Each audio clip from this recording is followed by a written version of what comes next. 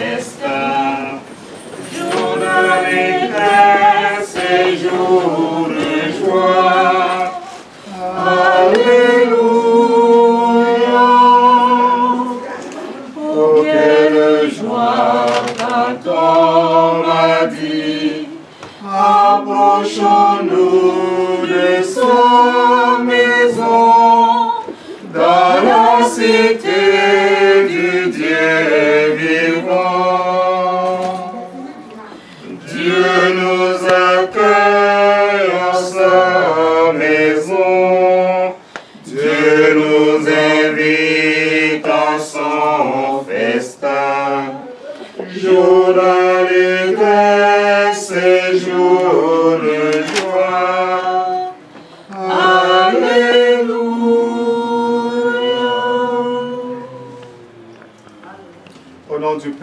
Fils et du Saint-Esprit.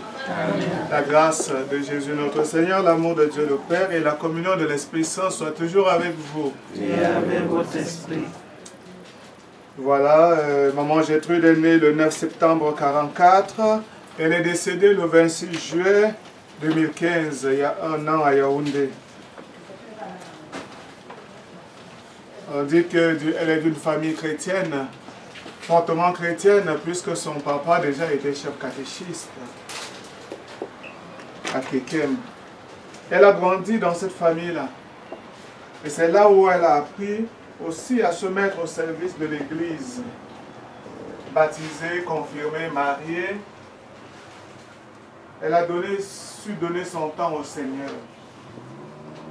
Elle a pris sa place comme baptisée dans l'Église. Et ça peut être pour nous un exemple à suivre. Membre de la chorale à Mélène, vice-présidente de, de la communauté ecclésiale de base et même femme catholique. On voit bien que tous ces engagements ecclésiaux n'ont pas empêché qu'elle fasse ses activités professionnelles et qu'elle élève ses enfants. Et Gauthier, son fils, qui est notre frère, qui a demandé cette messe en commémoration du premier anniversaire du décès de sa mère, voudrait nous associer tous à cette commémoration. Et voudrait surtout qu'ensemble nous puissions rendre grâce au Seigneur pour cette maman, cette maman-là que Dieu leur a donnée et nous a donnée. Nous qui la connaissons ou nous qui la connaissons grâce à lui. Parce qu'on dit souvent qu'on reconnaît, c'est par euh, des fruits, n'est-ce pas? Qu'on reconnaît la qualité de l'arbre. L'Église aussi s'y associe également parce que, effectivement, pendant sa vie terrestre, elle a donné son temps pour que l'Église grandisse, pour que le royaume de Dieu advienne. Alors que nous, nous sommes, surtout nous qui sommes ici en France, hein, on aime bien dire boulot, métro, boulot, dodo. Et le dimanche, on dit, oh, je suis fatigué, je ne vais pas à la messe. Quand j'étais au pays, j'allais à la messe tous les dimanches, j'étais à la chorale, je faisais plein de choses. Voilà, un exemple de vie qui peut nous aider nous-mêmes à nous poser les vraies questions. Quand nous sommes devant la mort, on se pose la question de savoir, mais nous, comment nous préparons cette rencontre avec Dieu? Elle s'intéresse de l'enfant Jésus que beaucoup connaissent parce que c'est une sainte des temps modernes qu'on a connue, Sainte Thérèse de Lisieux, comme on l'appelle, qui est morte à 24 ans, terrassée par une tuberculose, disait alors qu'elle devait mourir, je ne meurs pas, j'entre dans la vie. Nous croyons aussi que par tout ce que maman Gertrude a vécu, a fait, que le Seigneur l'a accueilli dans son paradis et qu'elle n'est pas morte. Elle est dans la vie, puisqu'elle a rencontré celui qu'elle a tant aimé, Jésus-Christ, qui a dit, je suis le chemin, la vérité et la vie. Alors nous allons donc célébrer cette Eucharistie, non pas seulement en pleurant parce qu'elle nous a quittés, mais surtout en rendant grâce pour ce qu'elle a été parmi nous, avec nous. Et entrons donc pleinement dans cette célébration en reconnaissant que nous sommes de pauvres pécheurs. En cette année de la miséricorde, nous avons à refaire euh, ce chemin avec le Seigneur. Non seulement de demander pardon pour tous nos péchés, mais de nous engager nous aussi sur ce chemin de la miséricorde.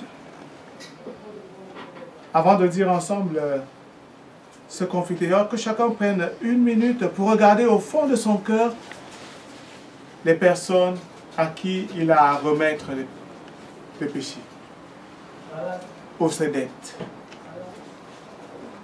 ou les personnes qui l'ont offensé et dont il a du mal à faire le pas de la réconciliation.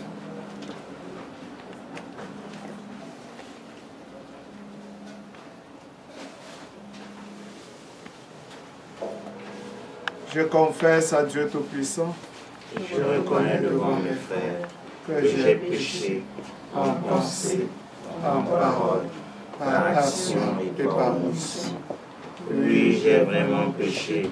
C'est pourquoi je supplie la Vierge Marie, les anges et tous les saints, et vous aussi mes frères, de prier pour moi le Seigneur notre Dieu.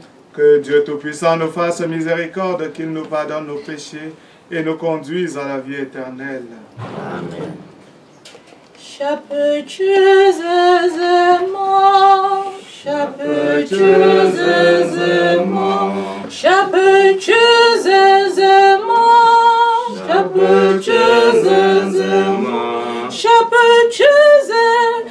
Çızı, çızızımı, çızı, çızızımı, çiço, şapılı, çızızımı.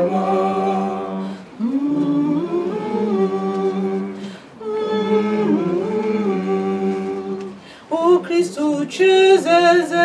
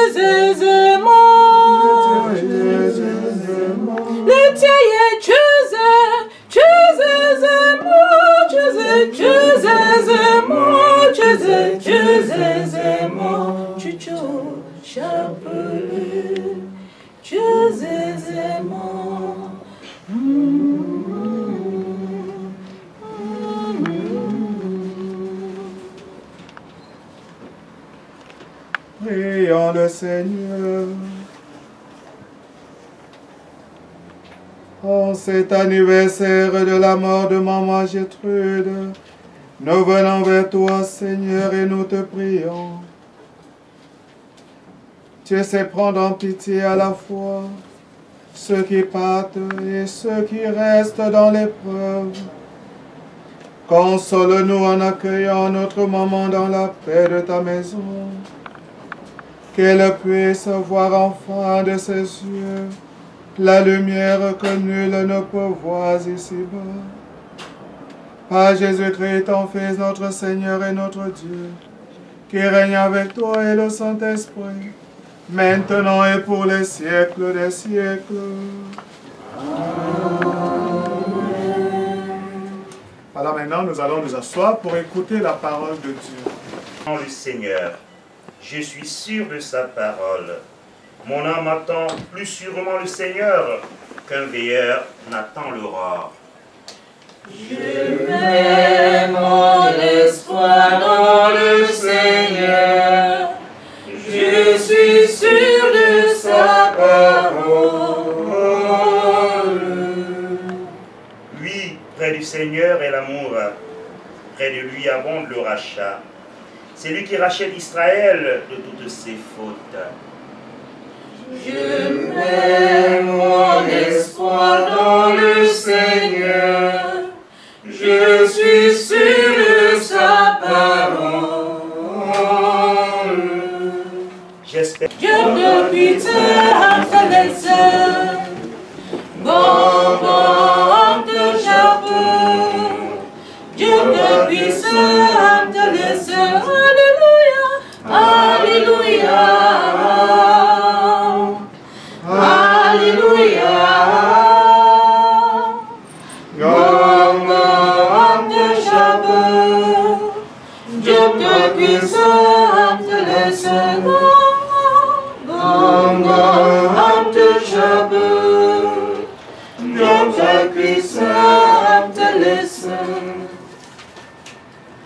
Seigneur soit avec vous. Et avec votre esprit. Évangile de Jésus-Christ selon saint Matthieu. Gloire à toi, Seigneur. Vous ne pouvez servir Dieu et l'argent. Voilà pourquoi je vous dis, ne vous inquiétez pas pour votre vie de ce que vous mangerez, ni pour votre corps de quoi vous le vêtirez. La vie n'est-elle pas plus que la nourriture et le corps plus que le vêtement? Regardez les oiseaux du ciel. Ils ne sèment ni ne moissonnent. Ils n'amassent point dans les, greniers. Et votre Père céleste les nourrit. Ne valez-vous pas beaucoup plus qu'eux Et qui d'entre vous peut, par son inquiétude, prolonger tant soit peu son existence? Et du vêtement. Pourquoi vous inquiétez? Observez les lits des champs, comme ils croissent. Ils ne peinent ni ne filent. Et je vous le dis, Salomon lui-même, dans toute sa gloire, n'a jamais été vêtu comme l'un d'eux. Si Dieu habille ainsi l'herbe des champs, qui est là aujourd'hui et qui demain sera jeté au feu, ne fera-t-il pas bien plus pour vous, gens de peu de foi? Ne vous inquiétez donc pas en disant, qu'allons-nous manger, qu'allons-nous boire, de quoi allons-nous nous vêtir? Tout cela, les païens le recherchent sans répit. Il sait bien, votre Père céleste, que vous avez besoin de toutes ces choses. Cherchez d'abord le royaume et la justice de Dieu, et tout cela vous sera donné par surcroît. Acclamons la parole de Dieu. Louange à toi, Seigneur Jésus. Lavez-vous. Qui persécutait les chrétiens. Non pas parce qu'il était méchant, mais parce que pour lui, la religion juive était la meilleure. Et tout le monde devait y adhérer. Sur le chemin de Damas, alors qu'il allait persécuter les chrétiens, cherchant à les traquer pour soit les mettre en, jeter en prison, soit les tuer, il fait la rencontre qui va le transformer, la rencontre avec le Christ. Or, il n'a pas connu le Christ vivant, mais il connaît le Christ ressuscité. Le Christ le rejoint sur le chemin de Damas et lui dit, Saul, Saul, qui est son nom, pourquoi me persécutes-tu? Et lui de dire, qui es-tu pour que je te persécute? Et dira, je suis le Seigneur, celui que tu persécutes. Alors qu'il n'avait jamais rencontré. Persécuter l'autre, c'est persécuter le Christ.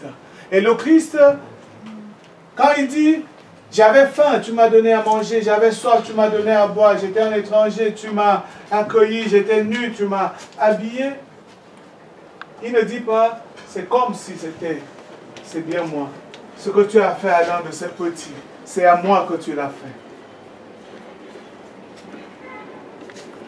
Et ces textes ont été choisis effectivement parce que quand nous regardons la vie des mamans, la vie des mamans, pour qui nous avons beaucoup de respect, Quand on se rend compte comment une maman ne dort pas quand l'enfant ne dort pas, ou quand elle dort, elle un sommeil léger, toujours prête à se réveiller, à prendre soin de cet être vulnérable, fragile. On peut quand même penser que c'est vraiment avec tout le cœur, avec tout l'amour. Et ces texte de la parole de Dieu, ces textes rejoignent bien le cœur de la mère. Et c'est pour cela que l'Église dit, il y a la multitude de saints qui ne sont pas officiellement connus comme saints, mais toutes ces personnes qui, chaque jour, ont donné de leur vie pour que nous, nous ayons la vie, sont bien les saints. Parce qu'ils ont leur place auprès de Dieu. Et le Christ en partant dit, je vais vous préparer une place. Quand je serai allé vous la préparer, je reviendrai vous prendre avec moi. Et là où je suis, vous y serez vous aussi. Et Thomas, le disciple qu'on connaît bien, lui dit, mais nous ne savons même pas où tu vas, comment pourrions-nous savoir le chemin? Et Jésus lui dit, ah bon, Thomas, tu es avec moi depuis, mais tu ne sais pas le chemin. Moi, je suis le chemin, la vérité et la vie. Nous croyons que maman Jésus est bien dans cette place qui lui a été préparée par le Seigneur. Et qui, depuis le jour où elle a quitté cette terre, pour le rejoindre, elle est bien dans cette béatitude éternelle. Et nous, croyons donc que là-haut, c'est elle qui prie et intercède pour tous les enfants qu'elle a élevés, pas seulement ceux à qui elle a donné la vie biologique, mais tous ces enfants qui passaient chez elle, toutes les personnes à qui elle a rendu un service, ne serait-ce qu'un sourire, montre bien que voilà, tout ça est accueilli par le Seigneur. Nous avons donc à rendre grâce au Seigneur, comme je le disais au début de cette célébration, pour cette vie donnée. Et quand on parle de l'amour, ça m'a fait venir à l'esprit un Jacques Prévert, un romancier français, qui parlait de l'amour avec beaucoup de méfiance. Et il disait, je le cite, tu dis que tu aimes la fleur, qu'est-ce que tu en fais? Tu la coupes. Hein? On a vu des fleurs qui sont là, elles ont été coupées. Hein. Tu dis que tu aimes le poisson, qu'est-ce que tu en fais? Tu le manges. Tu dis que tu aimes l'oiseau, tu le mets en cage. Et il conclut en disant, quand tu dis que tu m'aimes, j'ai peur. J'ai peur parce que je ne sais pas ce que tu vas en faire. L'amour dont parle le Christ, il s'agit bien de cet amour qui se donne et qui se reçoit gratuitement, qui ne fait pas de calcul. Et l'amour d'une mère, c'est bien de cet amour dont il est question. L'amour qui se donne. Et le plus grand Dieu de Christ, c'est celui qui s'est aimé de cette façon-là. Moi, j'aime bien regarder l'image de, de la nativité. Le peuple juif attend un roi qui va venir, un grand roi. on espère qu'il viendra dans sa majesté, mieux habillé que David et tous les autres. Mais il arrive petit enfant. Il n'a même pas de place pour dormir. Il est accueilli par des animaux et des bergers et couché dans une mangeoire. Mais c'est Dieu qui vient à la rencontre de l'homme et qui crée ce lien entre l'homme et Dieu, faisant de nous des dieux, des fils de Dieu. Et nous avons à accueillir toutes les fragilités, tous les cabossés de la vie, comme nous accueillons le Christ, comme nous accueillons Dieu dans notre propre vie. Et le Seigneur nous dira, venez bénis de mon Père. Recevez en héritage le royaume que j'ai préparé pour vous, parce que vous m'avez accueilli. Donc il dit, mais comment est-ce qu'on t'a accueilli? Il dira chaque fois que vous avez accueilli mon frère, ma soeur, ce pauvre type, cette femme que nous trouvons souvent dans la rue, qui a bu, qui a saoulé et qui dort, ou qui fait des problèmes, pour ce pauvre que nous appelons clochard. Et nous n'avons même pas le courage de le regarder dans les yeux. Et le cri dit, c'est bien moi. Une fois, c'est une expérience. Hein. Je suis au presbytère à Vitry-sur-Seine. Et juste à côté de ma porte, il y a un monsieur qui dort, sage. Et il pleuvait cette nuit-là. Et puis il sonne chez moi, les 2 heures du matin. Je me réveille. Bien sûr, je vais voir qui a sonné. Je me dis, il y a certainement quelqu'un qui a un problème. Mais c'est sage. En plus, on te dit, il ne faut pas l'accueillir, parce que s'il rentre chez toi, il va plus ressortir. En plus, la police va faire ceci et cela. Comment résister devant cet événement-là, de voir un frère qui dort là dehors et il pleut abondamment et il est mouillé et il sonne chez toi alors que tu es couché. J'ai ouvert, il est rentré. En même temps, j'étais embarrassé, je ne savais pas comment faire, mais je sentais au fond de moi qu'il fallait l'accueillir. Je l'ai accueilli, je l'ai amené chez moi, il a changé de vêtements, je lui ai donné mes vêtements, il les a mis, et il s'est reposé. Et le lendemain matin, il est reparti. Même si deux jours après, il m'a vu, il m'a insulté, mais c'est pas grave. Hein. Mais je l'ai accueilli. Même si trois jours après, quand il voit ma cousine arriver chez moi, il lui dit, je suis raciste, je suis de Le Pen, rentrez chez vous. Mais ce qui compte, c'est ce que moi j'ai fait. Nous avons aussi à être ces hommes et ces femmes qui donnons la vie aux personnes que nous rencontrons chaque jour. Comme a fait maman Gétrude. Je, quand je préparais cette célébration, j'en riais parce qu'on dit qu'elle a eu beaucoup d'enfants et de, beaucoup de petits-enfants.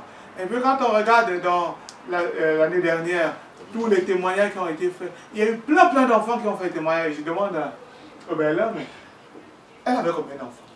Il me dit un certain nombre. Mais en fait, c'est vrai. Un certain nombre parce que elle n'a pas que les enfants qu'elle a mis au monde, elle a tous les enfants qu'elle a élevés, toutes les personnes qu'elle a aidées. En 2010, ma maman est décédée, je suis allé au Cameroun pour les obsèques. Et puis je rencontre des gens qui je n'avais jamais rencontrés, je ne les connaissais pas du tout. Et qui me disent, nous sommes venus à l'enterrement de notre mère. Effectivement, c'était leur mère. Parce qu'une femme qui t'a donné un, bout de pain, un, morceau de manioc de macabo, elle est bien ta mère. Nous allons leur rendre grâce au Seigneur pour euh, cette vie de, de maman Gétrude, une vie pleine. Et nous remercions aussi euh, Gauthier, son fils, qui, nous a, qui a permis que nous nous retrouvions pour partager cette action de grâce, cette joie. La joie de voir cette femme auprès de Dieu, de voir qu'elle a vécu réellement sur cette terre. Nous pleurons parce qu'il y a la séparation, mais rappelons-nous que, comme disait Thérèse, je ne meurs pas, j'entre dans la vie. Rappelons-nous que maman, j'étais dépendante, elle est entrée dans la vie par tout ce qu'elle a fait et par toutes nos prières aussi qui s'élèvent comme l'encens vers Dieu, Dieu les accueille. Et Dieu l'a certainement accueilli dans son paradis. Et nous demandons aussi à elle d'intercéder pour, pour nous, pour ses enfants, pour tous les petits-enfants et toutes les personnes qui comptent sur elle.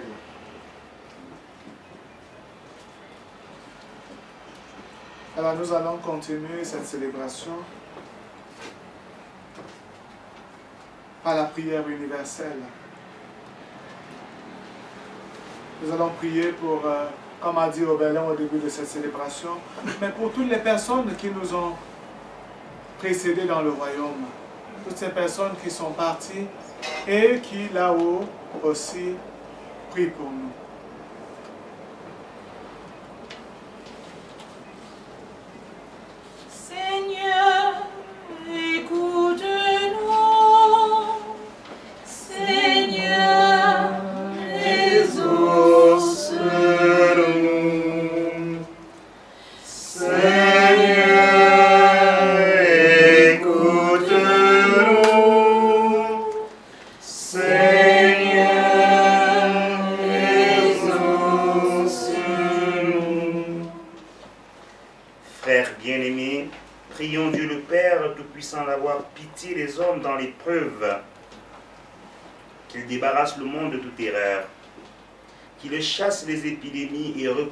Famine, qu'il délivre les captifs, qu'il protège ceux qui voyagent, qu'il donne la force aux malades et accorde le salut aux mourants.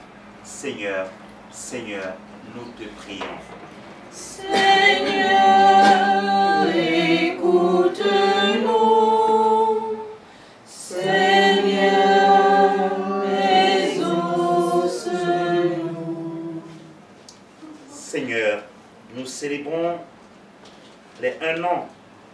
De notre mère, Gertrude, et la brutalité de sa mort ajoutait encore à notre peine.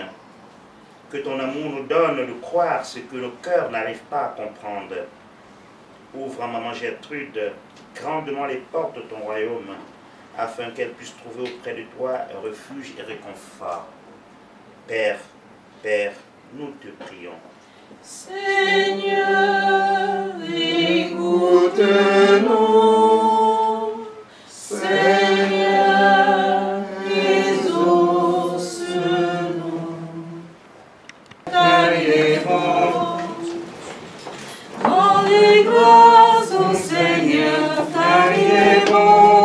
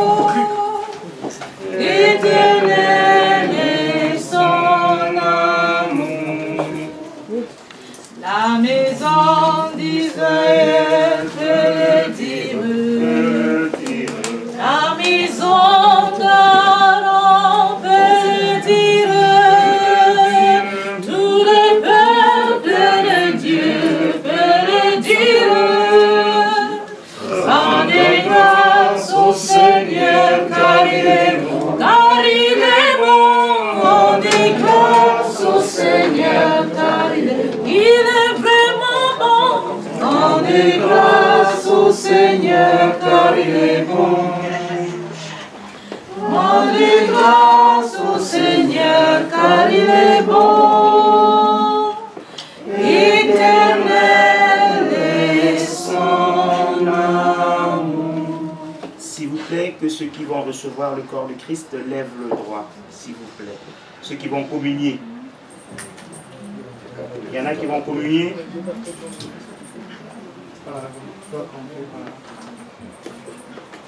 Ils vont communier.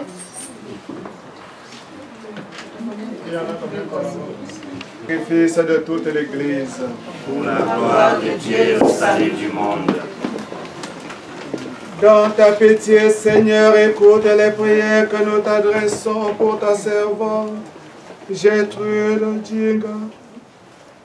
Au jour anniversaire de sa mort, que ce sacrifice de louange et de paix lui donne accès à l'assemblée des saints par Jésus le Christ notre Seigneur. Le soit avec vous. Et avec votre esprit, Élevons notre cœur. nous le tournons vers le Seigneur. Rendons grâce au Seigneur notre Dieu. Sera juste et bon. Vraiment, il est juste et bon de te rendre gloire, de t'offrir notre action de grâce toujours et en tout lieu. À toi, Père très saint, Dieu éternel et tout-puissant, par le Christ notre Seigneur. C'est en lui qu'a resplendi pour nous l'espérance de la résurrection bienheureuse. Et si la loi de la mort nous afflige, la promesse de l'immortalité nous apporte la consolation. Car pour tous ceux qui croient en toi, Seigneur, la vie n'est pas détruite, elle est transformée. Et lorsque prend fin leur séjour sur la terre, ils ont déjà une demeure éternelle dans les cieux. C'est pourquoi avec les anges et les archanges, avec les puissances d'en haut et tous les esprits bienheureux, nous chantons l'hymne de ta gloire et sans fin nous proclamons. Tu es là au cœur de nos vies. Et Et c'est toi qui nous fais vivre. Tu es là au cœur de nos vies. Bien vivant, ô Jésus-Christ. Jésus-Christ, notre Seigneur, qui nous a dit de célébrer ce mystère. La nuit même où il fut livré, il prit le pain, en te rendant grâce, il le bénit, et le rompit, et le donna à ses disciples en disant, Prenez et mangez-en tous, ceci mon corps, livré pour vous. Dans les sucres de nos tendresses, Ô Jésus, tu es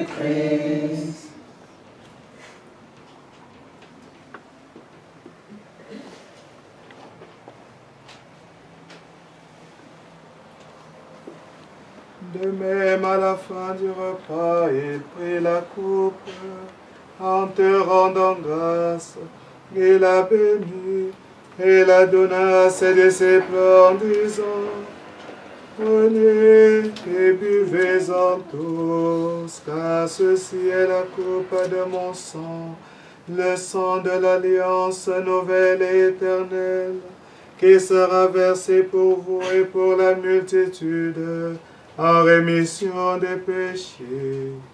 Vous ferez cela en mémoire de moi. Dans les matins de nos promesses, Ô Jésus, tu es là.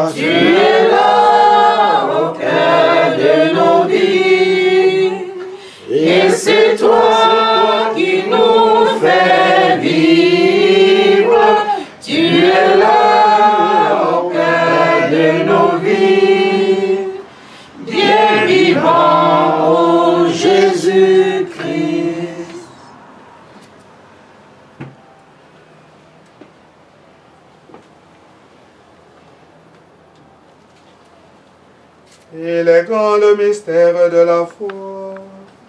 Nous proclamons ta mort, Seigneur Jésus. Nous célébrons ta résurrection. Nous attendons ta venue dans la gloire. En faisant mémoire de ton Fils, de sa passion, qu'il nous sauve de sa glorieuse résurrection et de son ascension dans le ciel. Alors que nous attendons son dernier avènement, nous présentons cette offrande vivante et sainte pour te rendre grâce. Regarde, Seigneur, le sacrifice de ton Église et daigne reconnaître celui de ton Fils qui nous a rétablis dans ton alliance. Quand nous serons nourris de son corps et de son sang et remplis de l'Esprit Saint, accorde-nous d'être un seul corps et un seul esprit dans le Christ. Que l'Esprit Saint fasse de nous une éternelle offrande à ta gloire, pour que nous obtenions un jour les biens du monde à venir, auprès de la Vierge Marie, la bienheureuse Mère de Dieu, avec Saint Joseph son époux, les apôtres, les martyrs, Sainte Gertrude et tous les saints qui ne cessent d'intercéder pour nous. Et maintenant, nous te supplions, Seigneur, par le sacrifice qui nous réconcilie avec toi, étends au monde entier le salut et la paix. Affermis la foi et la charité de ton Église au long de son chemin sur la terre. Veille sur ton serviteur, le pape François, notre évêque Pascal, l'ensemble des évêques, les prêtres, les diacres et tout le peuple les rachetés. Écoute les prières de ta famille assemblée devant toi et ramène à toi, Père très aimant, tous tes enfants dispersés. Souviens-toi de maman Gertrude, que tu as appelée auprès de toi il y a un an.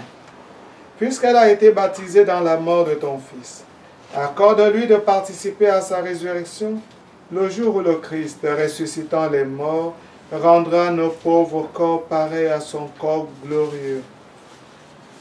Souviens-toi aussi de nos frères défunts, de tous les défunts de nos familles, de nos amis qui nous ont quittés. Souviens-toi des hommes qui ont quitté ce monde et dont tu connais la droiture. Reçois-les dans ton royaume, où nous espérons être comblés de ta gloire. Tous ensemble et pour toujours, quand tu essuieras toute larme de nos yeux.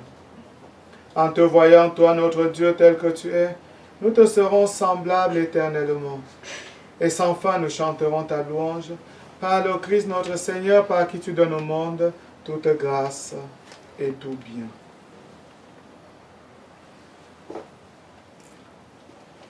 À lui, avec lui et en lui. Amen. À toi, Dieu le Père Tout-Puissant, dans l'unité du Saint-Esprit. Amen. Tout honneur et toute gloire pour les siècles des siècles.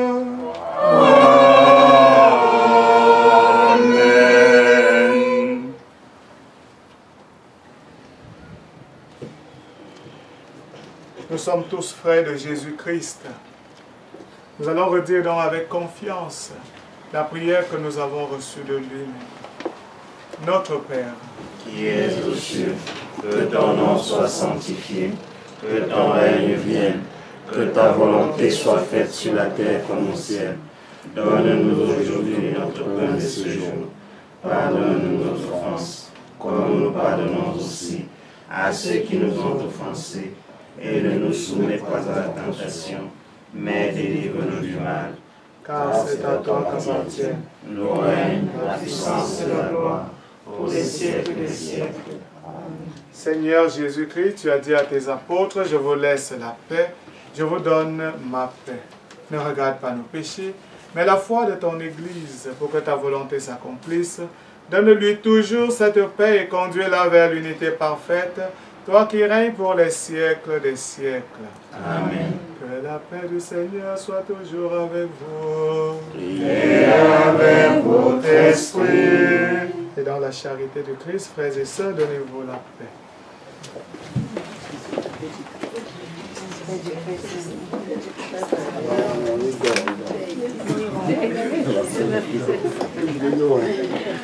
Il dort, il dort.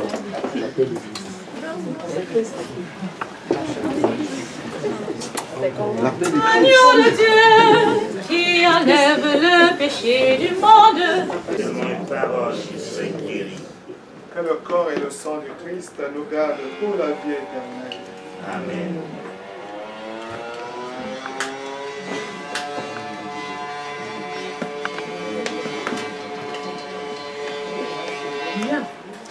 Qu'il faut prendre. hein. C'est c'est bon, c'est bon.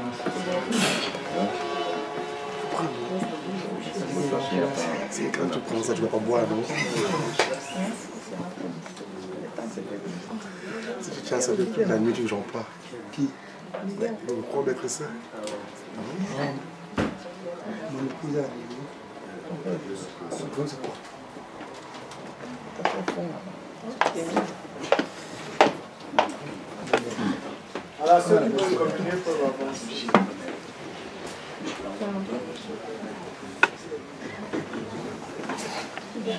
Madiwa kalati madiwa brinda mazua fau. Bikwimizi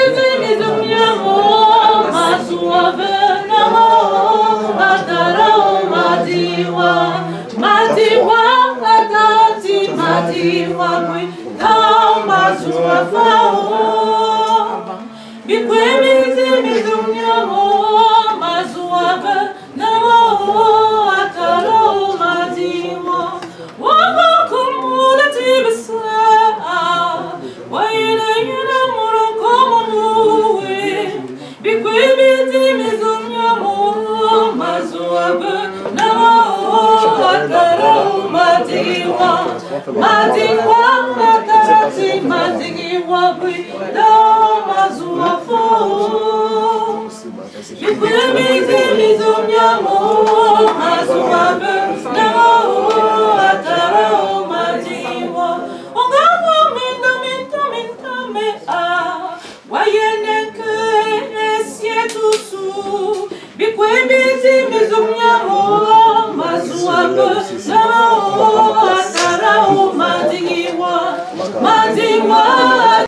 Euh, sachant que vous avez travaillé dans la journée et que demain vous devez encore travailler, pour un lundi, donc euh, comme je vous ai dit dans le message, je tiens une fois de plus à vous remercier pour tout le soutien que vous m'avez apporté l'année dernière lorsque je traversais cette épreuve vraiment difficile.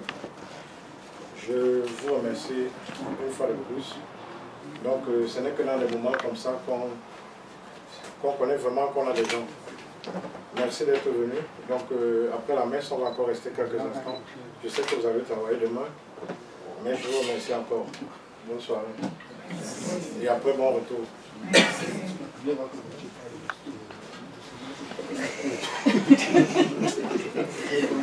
Dieu si patient.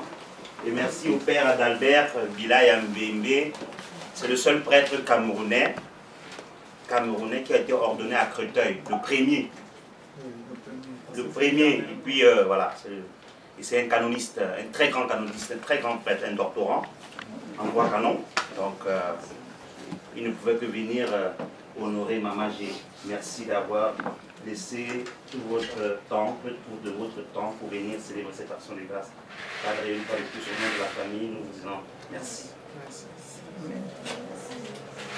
Voilà, il a dit des choses qui ne sont pas vraies. hein. Ce qu'il a dit là, ne suivez pas. Sachez que ce n'est pas tout à fait. Donc je suis... euh, Oui, c'est vrai que je suis le tout premier prêtre africain ordonné pour le diocèse de Créteil, parce que bon, c'est un diocèse français, c'est normal. hein. Le diocèse de Créteil est né comme le diocèse de Saint-Denis d'ailleurs, en 1966. Parce que vous savez, dans l'histoire en 65, il y a eu on a divisé la région de France en départements. Et l'année d'après, en 66, il y a eu la création des diocèses de la région. On a divisé les trois diocèses qui existaient, Paris, Meaux et Versailles. On a créé tous les autres diocèses, dont il y en a huit. Voilà, j'ai- j'ai passé six années à Vitry-sur-Seine. Et là, je vais quitter pour d'autres missions.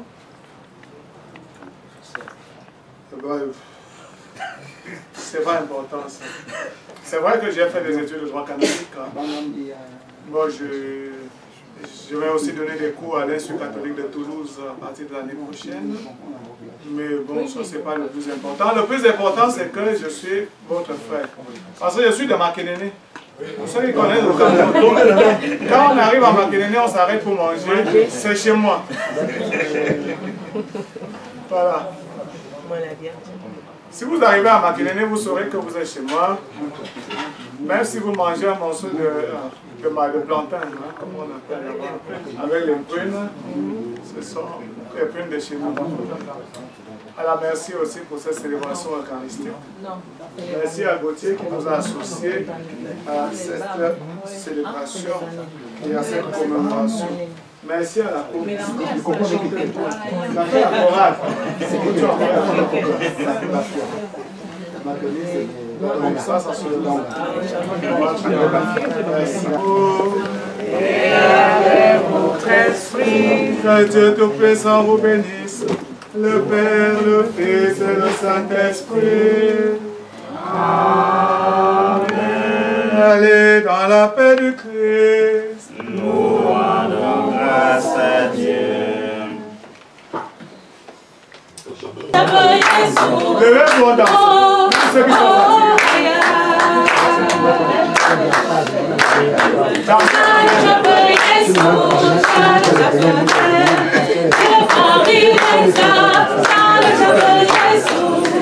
Oh,